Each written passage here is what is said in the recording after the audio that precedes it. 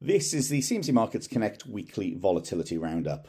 Over the last week, pockets of volatility have been more scattered across the broader market as opposed to revolving around a single theme. Looking at equities, Adobe was in focus after the software company reported its quarterly earnings. Whilst they were ahead of market expectations, the growth outlook called for revisions lower, leaving the underlying stock under pressure.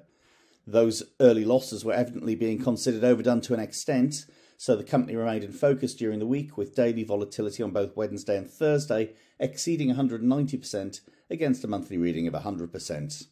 A cooling housing market is reported as rattling the price of lumber, keeping activity in the commodity somewhat elevated.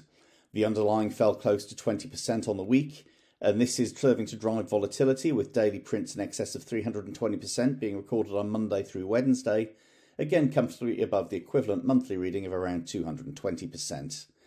The theme of food price inflation continues globally, and rough rice is eyeing a breakout to fresh highs for the year, elevating price action. So by the end of the week, daily vol sat at 109% against a monthly reading of 80%. Broad equity markets have been generally subdued through the week, but CMC's proprietary share baskets have filled this gap, with the cannabis basket, which is made up of seven medical marijuana growers, serving to dominate.